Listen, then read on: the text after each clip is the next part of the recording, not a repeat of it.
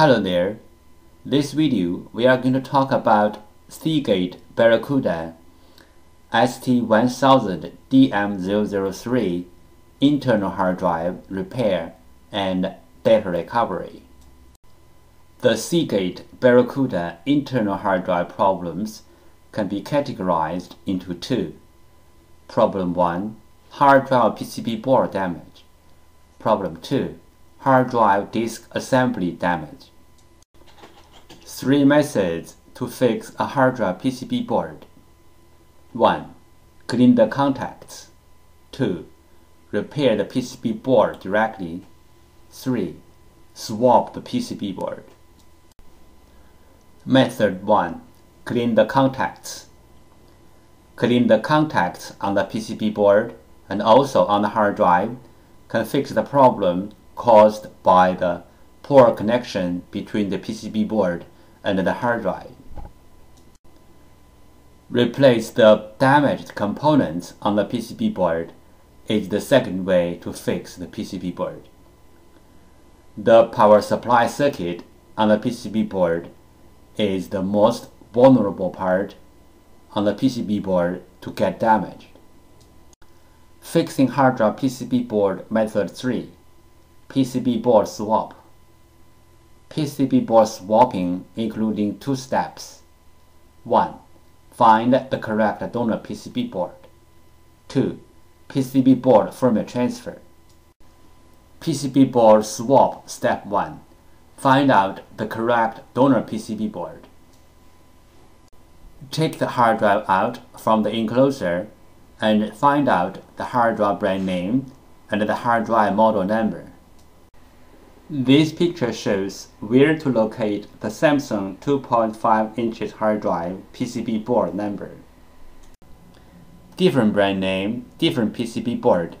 The PCB board numbers are different. You may go to hdd-parts.com to check out other brand name PCB board numbers. After find out the hard drive model number and the hard drive PCB board number, we use them as a reference to search for the correct donor board. We found the correct donor PCB board for the hard drive, but this is only the first step. The next step is we have to do the PCB board firmware transfer to make the donor board work on the original hard drive. PCB board firmware PCB board firmware is the information data on the PCB board. It may be in the memory chip or in the main chip on the PCB board. For this model hard drive, we have to do the PCB board firmware transfer first, then we swap the PCB board. Otherwise, the new board will not work on the original hard drive. Why do we have to do the PCB board firmware transfer? Because for this model hard drive, one PCB board includes two parts, hardware and firmware. The PCB board firmware includes hard drive's unique configuration data. The hard drive needs this unique configuration data to work. So we have to transfer this unique configuration data from the original board to the donor board. Then the donor board can work on the original hard drive. Regarding the hard drive PCB board firmware transfer, we have three things to mention. First, PCB board firmware transfer is different from the hard drive firmware upgrade.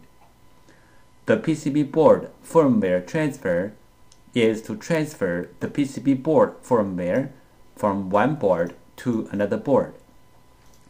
The hard drive firmware upgrade is to upgrade the hard drive's own firmware. It nothing to do with another hard drive or another PCB board. Second, we can do the PCB board firmware transfer from the physically damaged PCB board, like burned, watered, or other kind of damage. Our PCB board firmware transfer success rate is more than 95%. Third, we do the PCB board firmware transfer for our clients for free. This picture illustrated the procedure of fixing a hard drive PCB board. First, the clients send in their PCB board. 2. We fix the PCB board. 3. We ship back the PCB board to the clients. If the hard drive disk assembly is damaged, we can do disk data recovery to recover the data from the disks.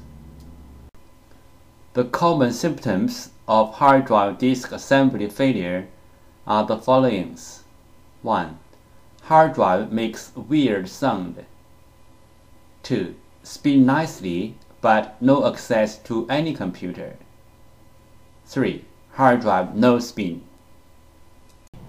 This picture shows the procedure how we do data recovery for our clients. First, the client send their hard drive to us. Second, we do data recovery.